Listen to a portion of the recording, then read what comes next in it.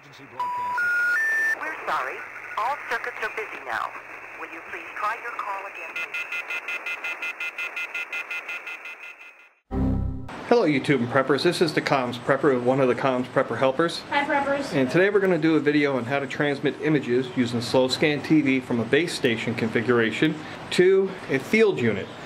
I've done this in the past where I've used the field unit here to transmit images back to a base station location, but today we're going to flip it around and use the base station to transmit images out to a field location. Let's say it's a hurricane or a tornado or something else in your area and you're doing search and rescue or something and you need a copy of a map uh, or some directions. Well, that's what we're going to do here. We've got this set up with the MMSSTV software right there. And we've got three images set up and I've already modified those images to put my call sign in so it's amateur radio compliant embedded in the image. And we're going to transmit those three images here from the Toshiba laptop with the USB SignaLink to the Wouxun radio. I have that set up here with a magnetic NMO mount with a tram antenna here. And we're running 5 watts. And I apologize for that clicking you're hearing. That's the focusing motor. And I couldn't find my external microphone today. I think it's in the car, and that's out grocery shopping. So I'm going to pause here. The Comms Prepper Helper is actually going to set those images up and transmit those to me. And I'm going to pick those up here with the Kenwood radio on the iPad. Okay guys, we're set up in the field location and we're going to simulate where I sent a request for three different images to a base camp. And the comms prepper helper is going to send those images out here and we'll capture them on the iPad and then they'll be automatically saved onto the iPad to be pulled up later in other applications. So we'll go ahead and hopefully start getting the first image from the comms prepper helper here, which should be a map down in Miami. And here comes that map now. And again, we're receiving that on this Kenwood handheld here, and it's interfacing into the iPad.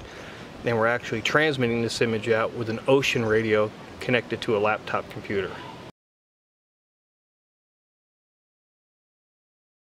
And to be compliant, because we're using amateur radio frequencies for this, I've actually embedded my call sign into this image. So as it scans down, you'll see my Russian call sign here, R3CU, which is required when doing slow scan TV.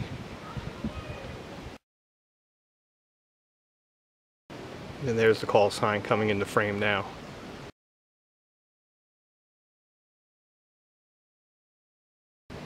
And this is being sent out in the Scottie 1 format. Now there's other formats that have less resolution that are faster. So depending on the image you want to send, you could use a faster format if you're willing to compromise some resolution.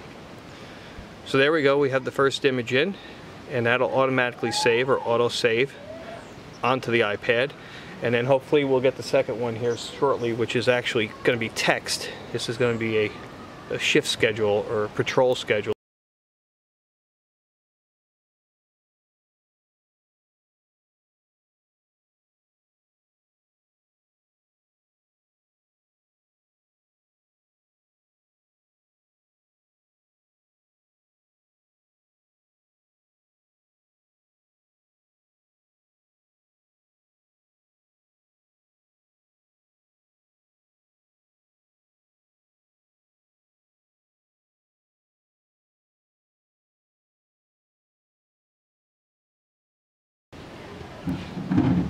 I'm sorry, there's our second image and we'll go ahead and start getting our third image now. And this is going to be an aerial view, so this is simulating a search and rescue kind of thing, you know, how to work back to a base camp or look for areas already covered.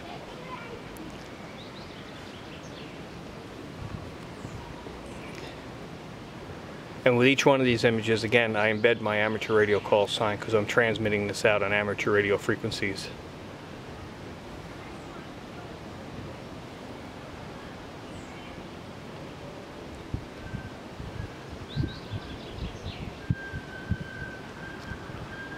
So here we took the aerial view and actually edited it in Microsoft Paint, showing a patrol area using a red line with an arrow at the end, working around an open field. Let's say you're looking for somebody or somebody got lost or something.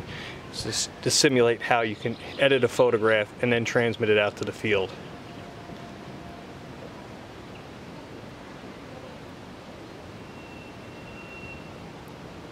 I hope this comes in okay with the glare.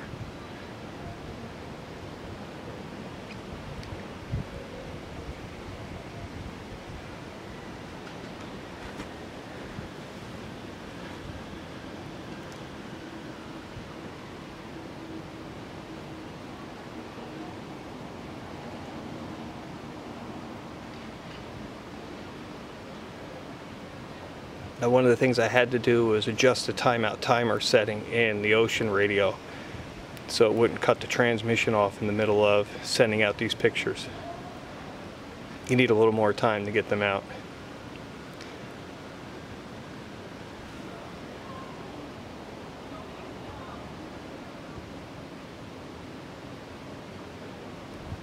So there you are, there's the third picture.